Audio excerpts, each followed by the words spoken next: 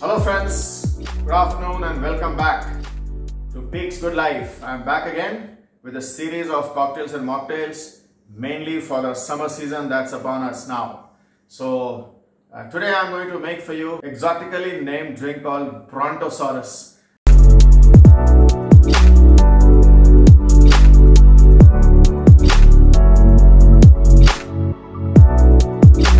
Now don't go by the uh, exoticity of the name itself. The drink uses grapefruit juice. So here we go. I take my cocktail shaker, uh, add some ice cubes to it, maybe three to four of them. And uh, add 60 ml grapefruit juice. So this peg measure of mine is about 60 ml. There goes the grapefruit juice. I would add grenadine syrup, just a dash of it, very little of grenadine syrup, half a teaspoon, that's it, there you go. And another half teaspoon of lemon juice to add a little bit of a tange to the drink. Shake it all up nicely.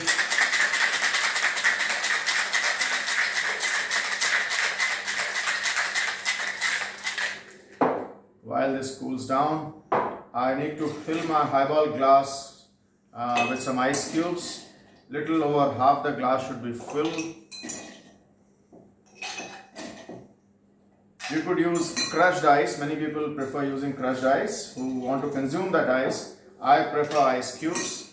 So here I am and I will strain this drink through the sieve. So there you go.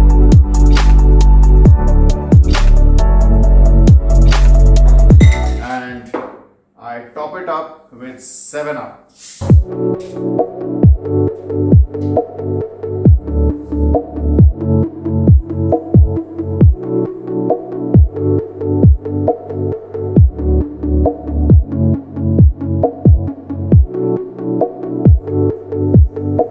There you go. Just to make it even, I would stir it a bit, give it a light stir.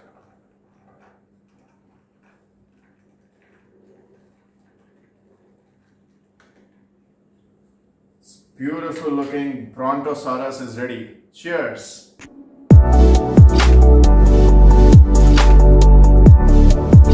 Very little tange and an excellent flavor of grenadine mixing with the grapefruit juice.